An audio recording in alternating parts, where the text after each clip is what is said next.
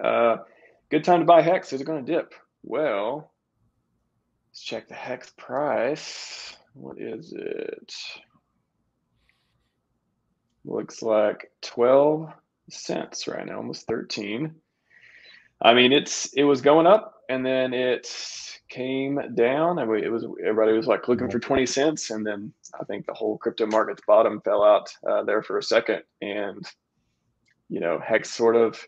I think it's. I think Hex is. A lot of people would agree that Hex is uncorrelated with, at least somewhat uncorrelated with with uh, the the broader market, just because of a lot of it's locked up. You know, OA holds a ton of it, which is good for price. And you know, you you want someone that has a lot of it that never sells, that type of thing. But at the same time, it's funny. I think we see that we know we can see how many people are staked. That was something I was talking to Wells about the other day, and he mentioned like you you know when every time Hex dips, dips like crazy, especially uh, after it ran up to 50 cents and came down, mm-hmm. less people were staked than we thought, or at least less whales were staked than we, what we thought. Yeah. So I think that's telling a lot. Um, it's a good time to buy. Whew, it's hard to say. Uh, well, I mean, I guess, I guess when did you come in? Are you trying to come in now? Because you know, not this isn't financial advice. It's just my opinion. But uh, to me, advice. To to me, a twelve cent hex is is a good buy. Um, that's just my opinion. Yeah, it's. Uh, I mean, these things they go in tiers, right? They, uh, we, you know, if we hold 12 cents, we are holding kind of 8, 17, 18 for a little while. I haven't seen hex below 12 cents for a long time, below 10, 11, 12 area.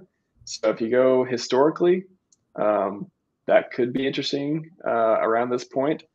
It's especially more interesting now. So if we weren't having the pulse launch soon, it would be less interesting. But now it's there's this huge catalyst that could really make the price go way up uh, because people are going to pick it up. They're going. To, we keep saying this for months and months and months because we keep waiting for the fork to happen to get those all those free coins. Right. But when the countdown begins, I don't know why it wouldn't pop. Like why wouldn't it? Why wouldn't it go up? Why wouldn't people once they get a timer, once they once we know a for sure date, and we'll speculate about that a little later. Mm-hmm. Once they know what's going on with it, how is it not going to get bought up? How are the whales not going to do all these buys, all this stuff? Yeah. So uh, I don't know why it wouldn't go higher soon. And it ties into, yeah, you said you would pick some up at this price. So that's, that, that there's your answer. Yeah.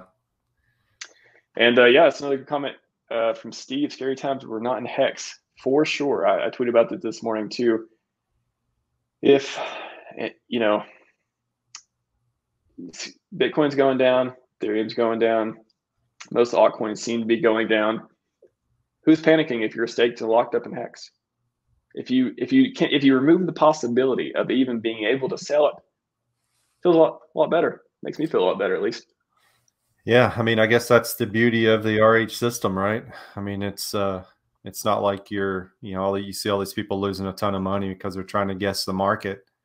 And uh we don't really have to do that. You know, I mean, once you're staked, you're uh, you're just riding it for sure.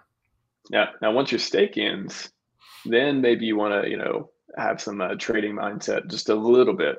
But honestly, for me, that's the most frustrating time is when I, if I, you know, if and when I do want to take profit and my stake is ended, that's I don't even want that pressure. Like I, I know it's you know a good problem to have, but it, I don't even I I like so much not having to worry about it that it's a little bit annoying that I have to figure out when I want to uh, take some profit from from time to time. So sure. staked, you don't have to worry about it. Yeah,